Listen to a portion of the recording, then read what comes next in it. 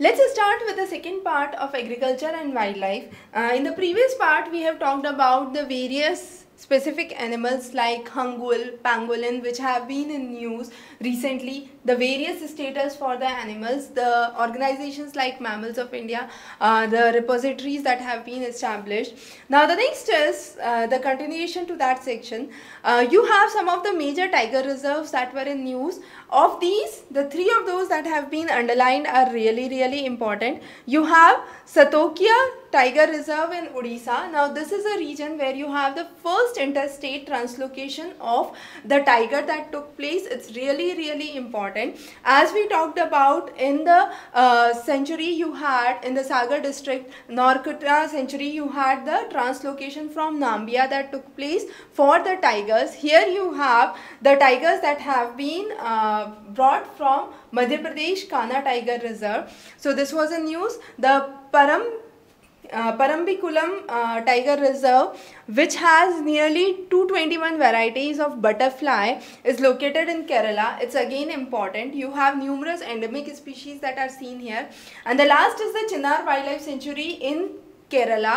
Again important because you have a rare bird which is known as Sri Lankan frog mouth that has been sighted in this region.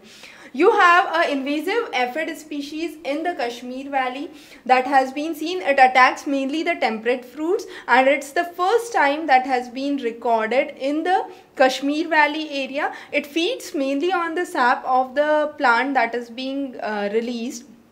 Mainly in the Himachal Pradesh and Punjab area this is commonly seen. The next is chytrid fungus. Now chytrid fungus is important because it attacks mainly the amphibians there was a rule that the amphibians from Asia won't be accepted in other countries because of the fear of this chytrid fungus. Uh, this mainly affects the frog population and this is considered as a killer fungus. You have numerous areas where you have seen uh, the chytrid fungus that has expanded tremendously. The next is the Gir Wildlife Sanctuary. Uh, you have the Gir Sanctuary in Gujarat known for Asiatic lions.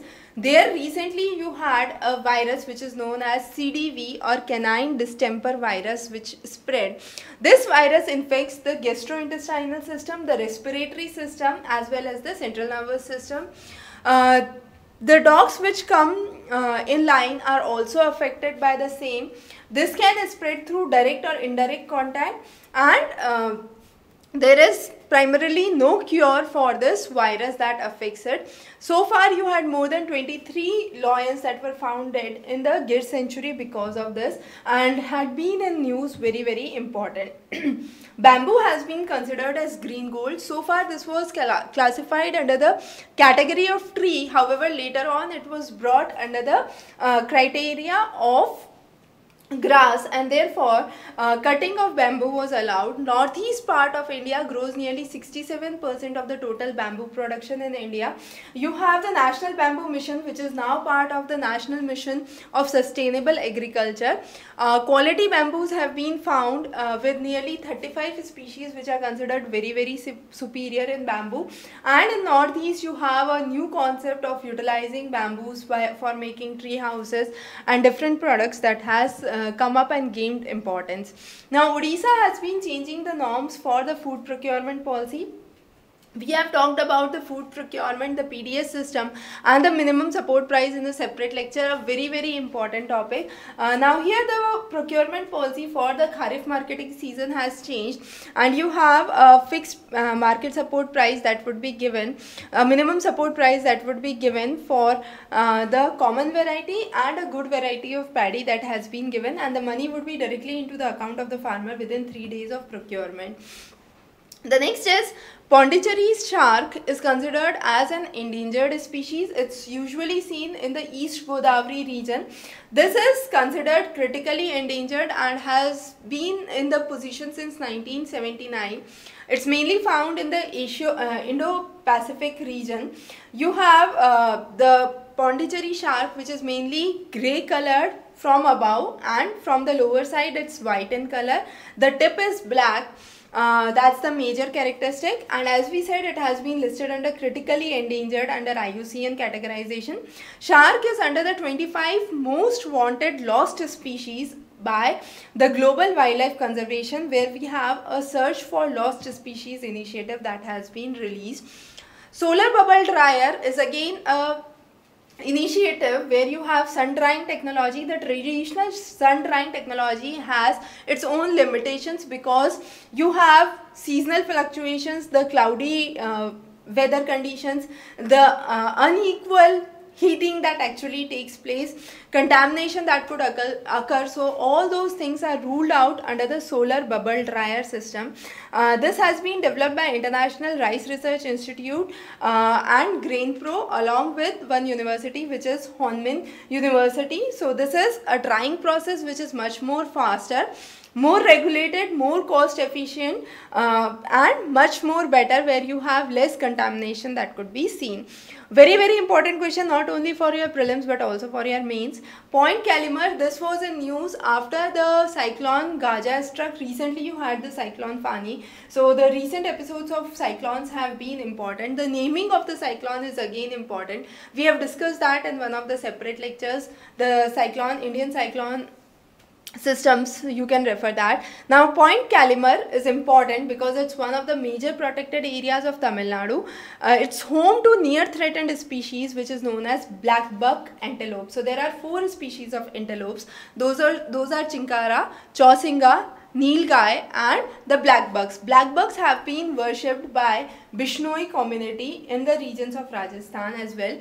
And this point Calimere is also famous as a migratory water bird site and it's one of the second largest sites in India. The next is Amur falcon. Amur falcon is native to northeast Siberia and North China. It flies to India during the winter months there and mainly goes to Nagaland. However, in Nagaland, there has been lot of hunting and poaching activity that has been seen because this is considered as a delicacy food in Nagaland. So, center decided to develop a conservation center which is known as Doyang Lake in Nagaland which is considered as the roosting site for Amur falcon and also a ecotourism site. Uh, this is not a very big bird, it's only of the size of pigeon but has been uh, important for the ecosystem. The next is black buck as we already said has been worshipped by the Bishnoi community. It is the second second fastest animal after cheetah that is considered. It's under the least concern category. So there are ample of black bucks that are seen. However, the hunting has been prohibited under the Schedule 1 of the Wildlife Act 1972. Uh, this is uh, antelope which is found not only in India but also in the neighboring regions of Nepal and Pakistan. Uh, that's some of the major characteristics of black buck. The next is Bramble Cay melomys. Bramble Cay is basically a mammal which is seen in the Great Barrier Reef. It's important because it's a species which is considered on the verge of extinction because of anthropogenic anthropogenic climate change that has been caused and the sea level that has been rising has been affecting the bramble cay.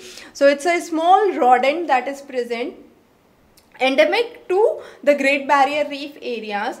Uh, however, the conservation has been seen recently. The next is flying bulldog which is also known as Wallace giant bee. It's considered as the world's largest bee and has been rediscovered in the parts of Indonesia. It is shifted uh, under the category of vulnerable in IUCN classification. It mainly lives in the Indonesian islands of North Moluccas uh, where you have the termite molds that are usually seen and those are the nest nesting areas for flying bulldogs. The next are the various vultures. There are nine species of vultures that are found in India, of which we are talking about the cinereous vulture that is mainly sighted in Jharkhand. However, of recent there were sightings that were seen in northern parts of India, mainly in the parts of Rajasthan. It's under, under the category of near threatened in IUCN categorization. So it's again important. Then you have the Asian Waterbird Census which is a coordinated uh, which is coordinated by Wetlands International and is a part of International Waterbird Census that has been released. Now important bird and biodiversity areas which are known as IBA is an initiative of bird uh, BirdLife International. Now it aims to identify, monitor and protect the various uh, conservation centers and you have uh, a new atlas that was published by bird wildlife which was known as e-atlas and it's the first marine important birds and biodiversity areas wildlife atlas with more than 3000 uh, water uh, water animals that have been water areas that have been cited in this Odisha you have a new festival that was the second National Bird Festival that was held in Chilka Lake. Chilka Lake we have already seen. It is also known as the Birds Paradise of Asia. In part 1 we have already covered how a lot of migratory birds are coming there. You have the Nalabana Bird Sanctuary which is closer to this in Odisha that's again home to numerous uh, birds. You have the National Chilka Bird Festival Award which was given to Mangal Jodi Ecotourism Group. Mangal Jodi as we already saw in the previous class is located close to the Chilka Reservoir. It's home to numerous migratory species and therefore has been important. The last important thing was Golden Langur. Uh, you have the breeding project that is started uh, in Assam. That's under the name of Golden Langur Conservation Breeding uh, in the state of Assam. The Assam Zoo has this and you have uh, the currently endangered species which is golden langur has been uh, protected and conserved in this region. So that's about the two sections on uh, the agriculture and wildlife will be bringing many important expected question series before your examination. So stay tuned. Have a wonderful day.